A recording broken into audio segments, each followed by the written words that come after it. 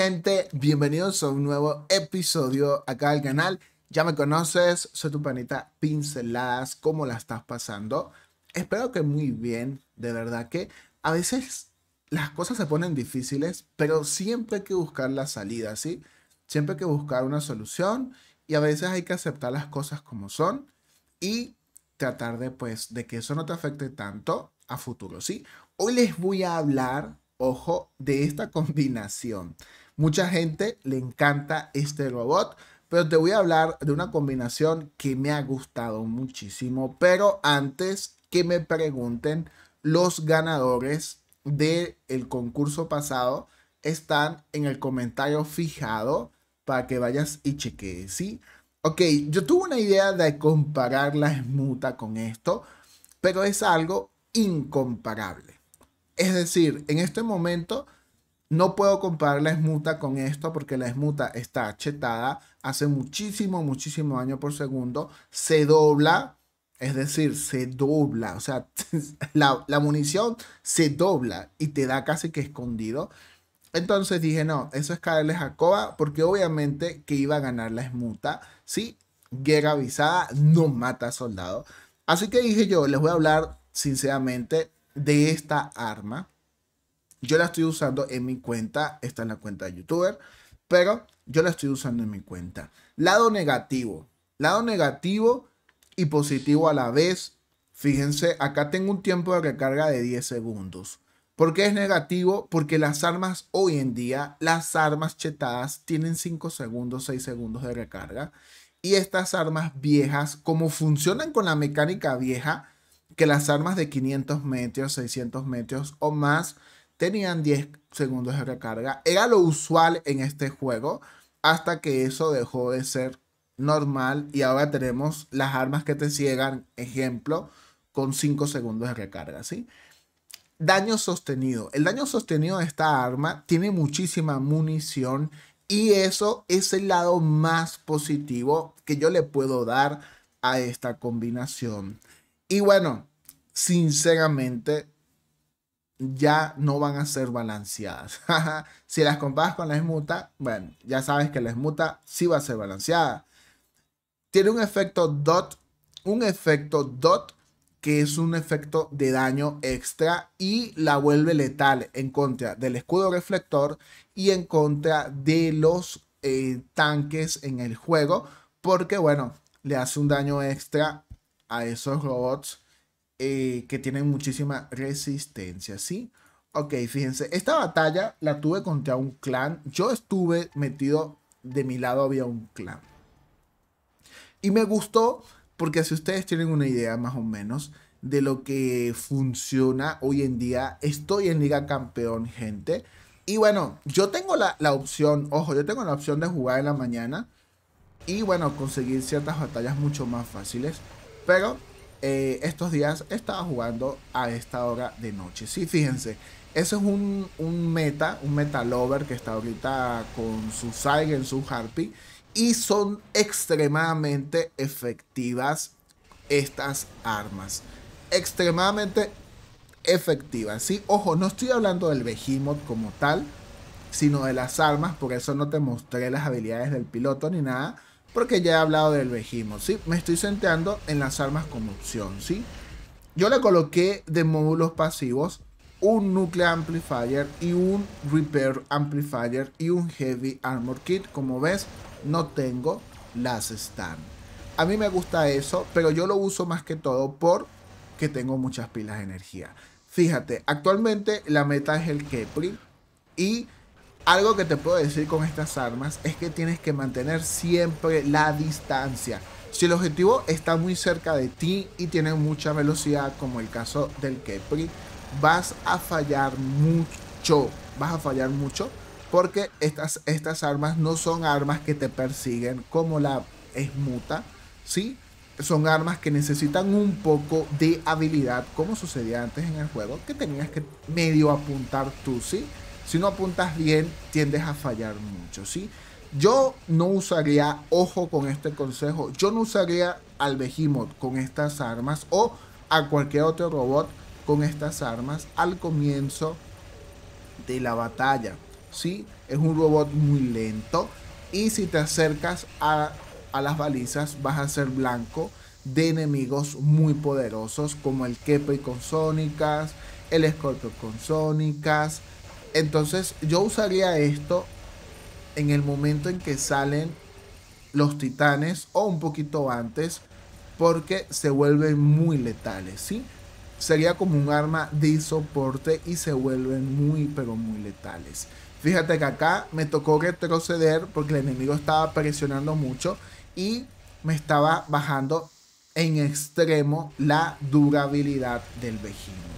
Yo a esta combinación le daría una puntuación de 7 u 8 porque son muy pero muy efectivas, pero lamentándolo mucho, en Liga Campeón a veces se vuelven un poco ineficientes debido a que los enemigos tienen extrema velocidad, ¿sí?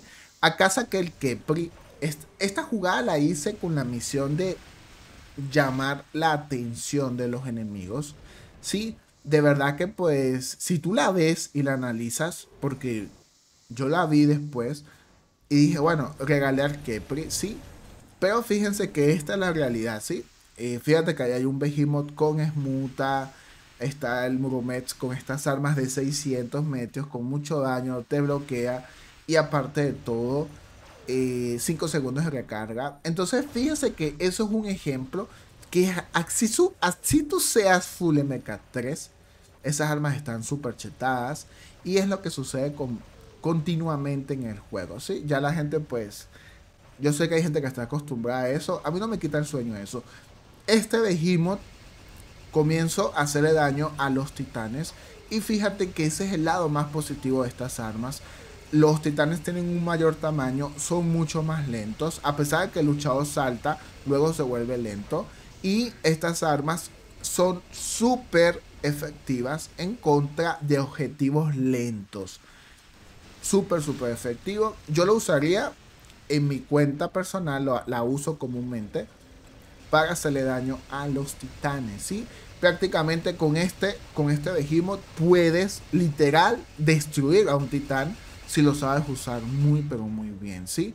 El problema es que a veces lo dejo como última opción y como es extremadamente lento, me joden y no puedo ir por balizas. Por lo cual te recomiendo, si lo vas a dejar como quizás como cuarta opción o última opción en el piloto, si le coloques habilidades que te den algún beneficio como piloto, ¿sí? el piloto que te da más velocidad o piloto agresivo persistente, si no me equivoco, que es cuando el, enemigo tiene tres balizas o más, te da también un buff de velocidad. Así lo uso yo y así me ha gustado con esta combinación. Fíjate, esto es una batalla normal en Liga Campeón, ¿sí o no? a pesar de que el Behemoth es muy fuerte, tiene puntos de defensa, tengo un dron chetado, te pueden destruir muy fácil. Por eso es que, bueno, algunas veces en algunos videos, cuando tú veas una combinación y destruye a alguien muy, pero muy rápido, es que está destruyendo a alguien de Liga Experto, lo más probable, ¿sí?